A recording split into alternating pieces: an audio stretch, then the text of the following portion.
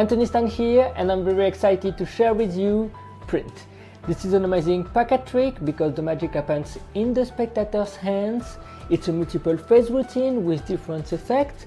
You finish with a strong climax and the cards can be inspected.